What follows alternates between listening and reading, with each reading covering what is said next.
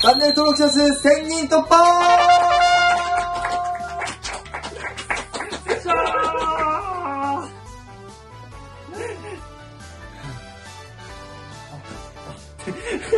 やっとやばいやばいやばいやばい。湯浅、湯浅、湯浅。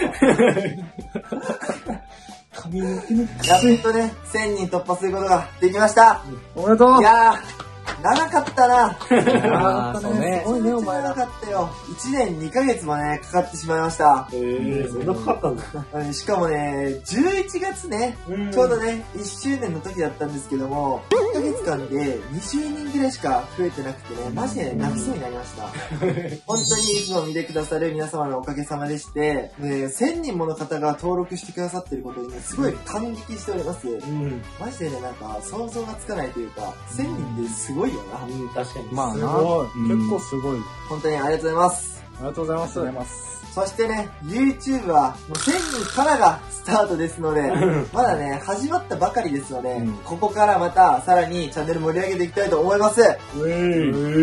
ということで、本日はですね、チャンネル登録者数1000人突破記念としまして、4つの発表を行いたいと思います。おー、告知か。えーまず1つ目がですね、今後行っていくイベント情報。お2つ目が2022年の目標。そして3つ目が今後のチャンネル構想を話したいと思いまして、そして最後にですね、プレゼント企画の詳細を発表していきたいと思います。はい。はい。それとですね、いよいよ1000人を超えるチャンネルになりましたので、今日はですね、チェルミア TV の夢を皆さんに共有したいと思います。チェルミア TV はですね、今後、日本一の海外サッカーファンクラブを作ろうと思います。なるほど。イメージつきます？つかない。何よその反応。つかない、イメージは。でまあね、ちょっとこの後話していくんですけども、この構想が実現できればね、かなり面白いことになりそうですので、本日の動画もぜひとも最後までご覧ください。それでは、チャンネル登録者1000人突破記念動画、いってみよう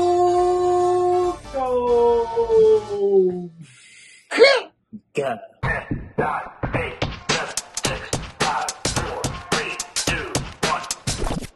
まずね、一つ目の発表の前にお知らせがありまして、えー今回ですね、また新たにね、ツイッターをリニューアルいたしました。まあね、この間作り直したばっかりなんですけども、ちょっとフォローしすぎて赤番を食らってしまいまして、まあね、しょうがなく作り直したんですけども、まあね、フォロワーも800人ぐらいいたんですけど、ちょっとね、またゼロからのスタート、まあまあ、ちょうどいい機会だったのかなと思うんですよね。うん。ということで、新しいツイッターのアカウントがこちらになりますので、はい。お手数おかけしますが、またね、フォローの方よろしくお願いいたします。お願いします。で、僕また個人アカウントを自分で作ろうと思いますので、おまあね、そっちで雑談だったり、いろんなプレミアリーグに関するコメントみたいなのもしていこうと思いますし、ん田中も、えー個人アカウントありますので、そっちの方もフォローよろしくお願いします。お願いします。はい。チンゴあるの？あるよ。ああ、そっか。ということで、えー、次ですね。こいつやばいわ。聞いといてね。1000人突破してからなんかこんな感じだよね。ちょっときついわ。とということで、早速、はい。まず一つ目の発表をしたいと思います。はい。登録者1000人記念イベントとしまして、チェルニア TV 初のコラボ動画を企画しております。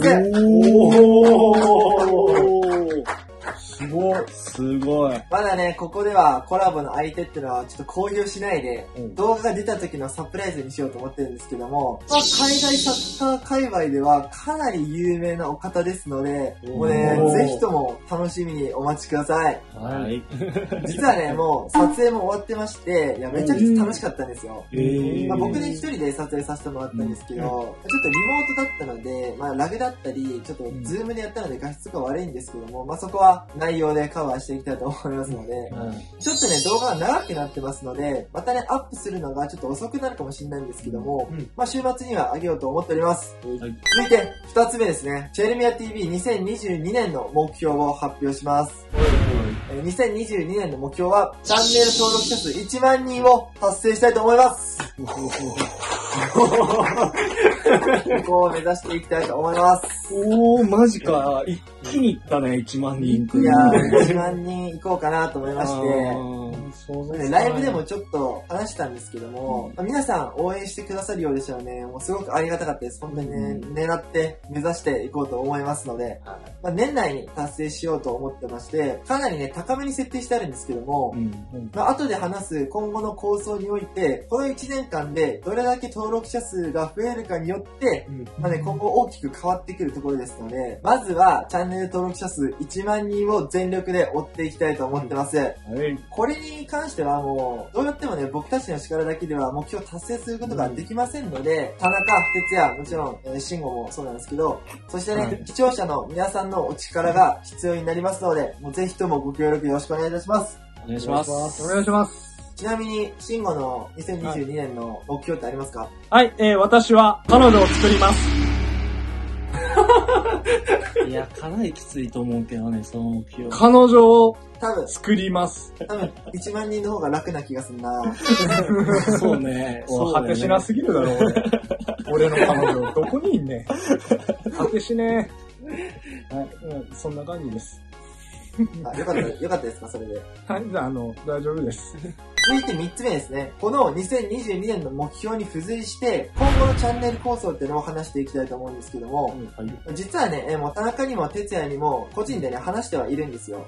なので、まあ、うん分かってもらえると。まあまあいいけど、いいけど、ね、リアクションしやすいから、どうぞ。チェルミア TV ですね、3年目標というのを立てまして、まあ、1年ずつテーマを持って活動していこうと思うん。ですけども、ほう1年目はコミュニティの拡大です。これだけに全力を注いでいきますと、まあ、さっき言ったチャンネル登録者数を伸ばすってとこですね。えー詳細を話していくと、YouTube のチャンネル登録者数を1万人うん目指してます。これチェルミア TV ですね。続いて、Twitter のフォロワーも1万人、TikTok のフォロワーも1万人、ここをね、目指していきたいと思ってるんですよ。なかなか、ほなるほど。ちなみに、YouTube が今1028人かな動画撮影時点で。うん。Twitter がまあ800何人くらいいました。うん過去形ですけど。で、TikTok も、えー560ぐらい、600いかないくらいだったと思うんですよね。うんおまあ、結構差はないんですよ、今のところね。うん。うん。どっちかっていうとやっぱ YouTube より Twitter、TikTok の方が増えやすいと思いますんで、うん。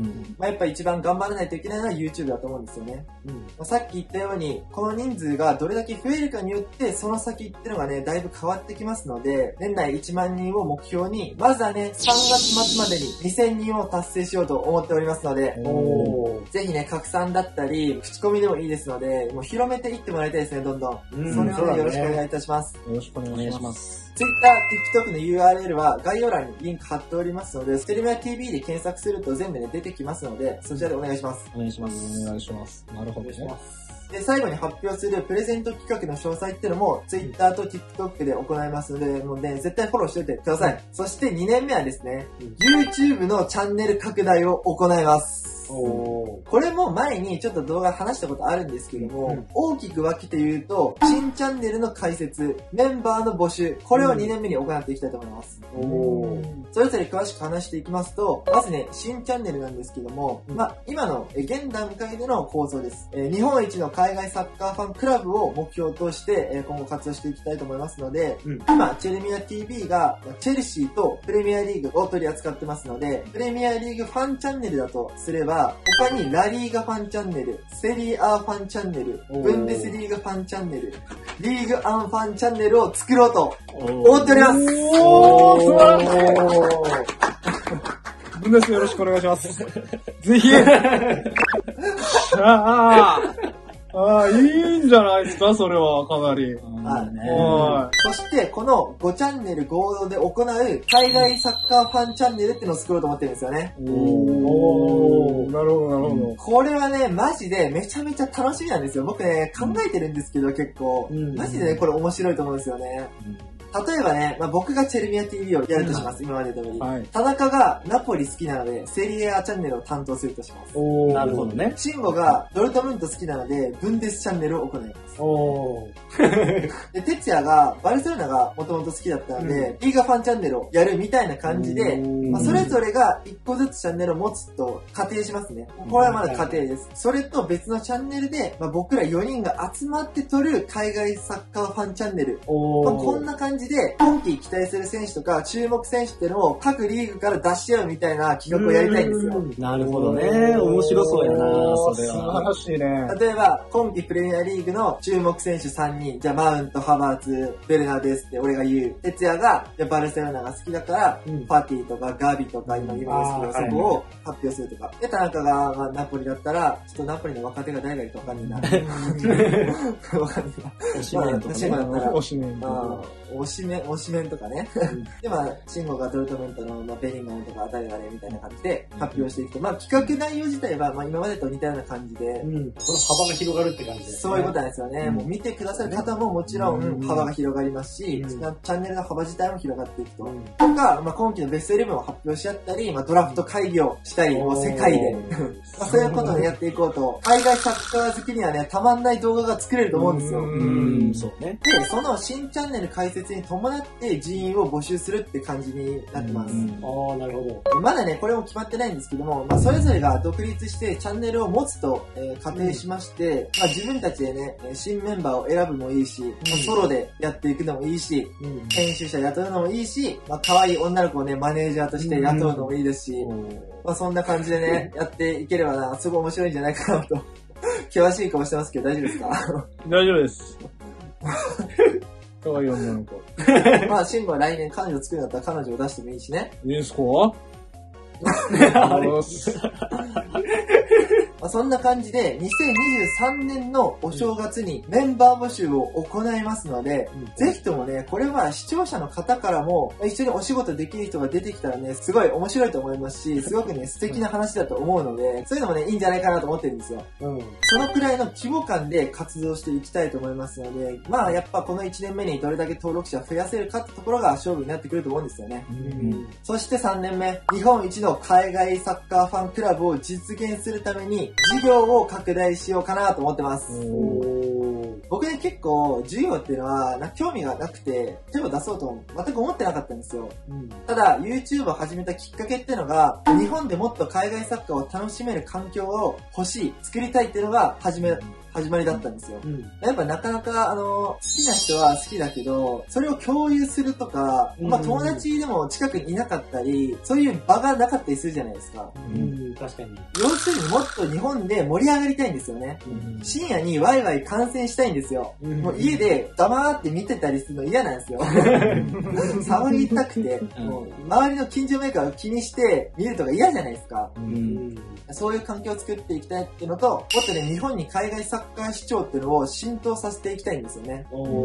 そのためにまずコミュニティ拡大して、そこから事業の拡大をしていこうと思ったんですけども、まあ事業としましては、ちっちゃいことだと、グッズ販売とか、オンラインサロンとか、まあフットサル大会とか、うん。FIFA トーナメント大会とか、まあ、ここらいだったらね、簡単にできると思うんですけども、うん。まあ、そこから大きいところで言うと、独自のメーカーっていうのを作って、スポーツ用品の販売をしたりとか。